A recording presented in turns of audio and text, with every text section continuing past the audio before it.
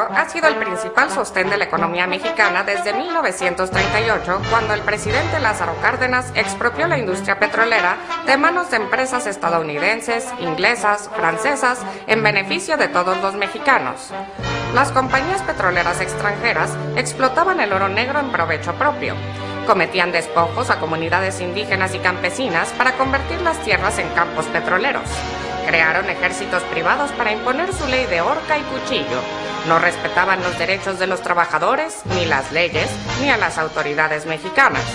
Expropio por la soberanía, por el futuro de México y porque las compañías extranjeras son regandallas. El general Cárdenas decidió defender la soberanía nacional y devolvió el manejo y control del petróleo y el gas a la nación. Las empresas extranjeras auguraron el fracaso de México, pero desde entonces, Petróleos Mexicanos ha sido pilar y orgullo nacional. Hoy en día, el petróleo, el gas y sus derivados son el motor de la economía mundial. Apenas 20 países en el mundo cuentan con este recurso y como las reservas son limitadas, la tendencia actual es que el petróleo y el gas se mantengan en manos de los estados. En 2008, 9 de cada 10 barriles de reservas probadas en el mundo pertenecen a empresas petroleras estatales de Arabia Saudita, Irán, Rusia, Venezuela, Ecuador, Emiratos Árabes Unidos, China y México, entre otros. Las empresas petroleras transnacionales ambicionan apoderarse de nuestro petróleo. El tesoro escondido en aguas profundas, como dicen en Los Pinos. La derecha panista, con el apoyo del PRI, pretende privatizar la industria petrolera, entregándola a los empresarios nacionales y extranjeros y despojarnos de esa riqueza que pertenece a todos los mexicanos. Hoy, el petróleo es la principal fuente de ingresos de México. De cada peso que gasta el gobierno, 40 centavos provienen del petróleo. El petróleo es vital para México. La electricidad y el petróleo mueven a la industria. Basta de populismo. El gobierno debe vender la industria petrolera. ¿Por qué? Porque yo la quiero comprar. Las empresas públicas son ineficientes. En cambio, si se privatiza, se acabará la corrupción. Habrá mejor servicio. Oiga, ¿Qué? ¿Que no le da vergüenza decir eso después del Fobapro, el rescate carretero, el azucarero, el de Mexicana? Pero si Pemex está hecho un desastre. Sí, pero porque los gobiernos neoliberales lo quieren privatizar desde hace años. El gobierno ha lanzado una campaña de mentiras en los medios de comunicación. Se dice que Pemex no tiene recursos para invertir en nuevas exploraciones, refinación, nuevas tecnologías y la explotación en aguas profundas. Actualmente, Pemex tiene problemas financieros, técnicos y de infraestructura porque en los últimos 25 años los gobiernos neoliberales del PAN y del PRI han desmantelado a la empresa al punto de llevarla a la quiebra técnica. Así lo hicieron con otras empresas públicas antes de privatizarlas. Eso han hecho con Pemex, Salinas, Cedillo, Fox y Calderón. Estos gobiernos no han invertido en mantenimiento, exploración, petroquímica o desarrollo tecnológico y económico de Pemex. Pero para compensar, le metimos harta corrupción en la administración. Desde hace más de dos décadas no se construye una refinería en nuestro país, por lo que hoy importamos el 40% de la gasolina que consumimos. Hasta vendemos petróleo crudo barato y compramos gasolina y diésel caro. El panismo se ha servido con la cuchara grande las ganancias petroleras. El gobierno de Fox ha sido el que más dinero del petróleo ha recibido en la historia de México. Fox obtuvo 335 mil millones de dólares del petróleo. Solo en 2007, las utilidades de Pemex fueron de más de 60 mil millones de dólares y pagó tres veces más impuestos que lo que desembolsan todas las empresas de México. El negocio es que el gobierno te dé, no que le des. No obstante la inmensa riqueza generada por Pemex, casi todo se dilapidó en sueldazos para la burocracia, gastos suntuarios y contratos para familias de panistas connotados como Muriño. Por cierto, amigo de los hermanos Briviesca.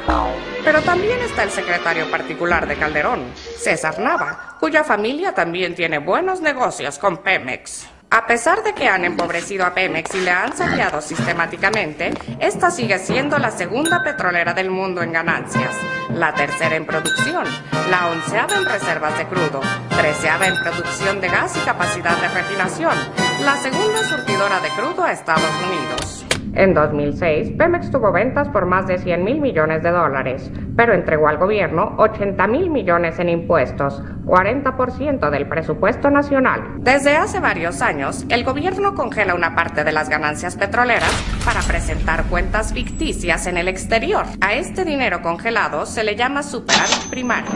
En 2008, Pemex acumulará 457 mil millones de pesos congelados por el gobierno para presentar la ficción contable de equilibrio presupuestal.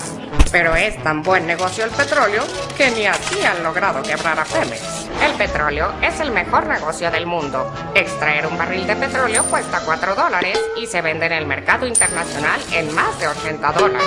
No, el mejor negocio del mundo es la comisión que se van a llevar algunos por vender Pemex a precio de remate. Privatizar Pemex es un robo a la nación. ¿Por qué insisten tanto? Ya le dije, por la comisión sota. Y por Bush y las compañías petroleras. Bueno, sí.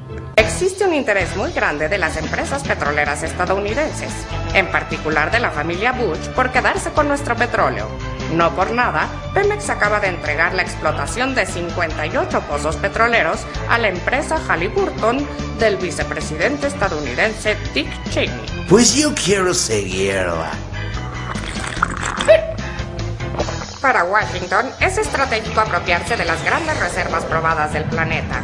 Por esa razón, Estados Unidos inició la guerra en Irak y en Afganistán. Las principales empresas petroleras como Texaco, Halliburton, Exxon, Shell, Repsol, que ya participan en buena parte de nuestra industria, ahora quieren asegurarse el control de las reservas petroleras mexicanas y de sus ganancias. ¿Será por eso que Washington y España apoyaron sin reservas la campaña de Felipe Calderón y avalaron el fraude electoral? Es claro que Calderón tiene que pagar con reservas la factura de quienes lo apoyaron desde el exterior. Calderón insiste en aprobar la llamada reforma energética, que no es otra cosa que privatizar la industria petrolera y entregarla a intereses extranjeros. Pero dar el petróleo de México a particulares es poner en riesgo el presente y el futuro de nuestro país. Es una cuestión de soberanía. Es lo que está en juego si Calderón entrega nuestro petróleo a empresarios y multinacionales. La privatización de la industria ya se ha echado a andar desde hace tiempo mediante la deuda contratada por medio de pidiregas y los contratos de servicios múltiples, que son anticonstitucionales. Se sabe que hay, además, al menos cinco contratos con empresas petroleras extranjeras y que quieren darle a Texaco el sistema de ductos más importante del país. Lo que quieren Calderón y sus aliados es legalizar la privatización que hasta ahora es anticonstitucional. Dicen que no tenemos tecnología suficiente para extraer el petróleo en aguas profundas. Esto es falso. La tecnología se puede comprar en el mercado y desarrollar según las necesidades nacionales. Hasta petróleos brasileños, Petrobras, a quien la derecha pone de ejemplo para las alianzas tecnológicas, acaba de encontrar nuevos yacimientos y decidió explotarlos al margen de las empresas transnacionales para no compartir su propiedad. La mayor parte de los mexicanos nos oponemos a la privatización de nuestra industria petrolera. Será grande el descontento popular si lo intentan, que se sumará a las ofensas del gasolinazo, el azucarazo, las salsas de enero, los nuevos impuestos y las importaciones abiertas de maíz y frijol. Tampoco somos tan bestias e inconscientes. Antes de aprobar la reforma energética, aprobamos una reforma judicial represiva.